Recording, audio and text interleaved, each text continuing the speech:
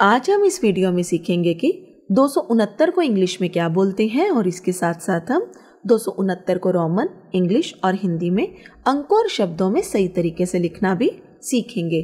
दो सौ उनहत्तर को इंग्लिश में हम 269 कहते हैं और इसकी स्पेलिंग होती है T W O two H U N D R E D hundred A N D and S I X T Y sixty N I N E nine. और रोमन में दो सौ उनहत्तर को C C L X I X लिखा जाता है।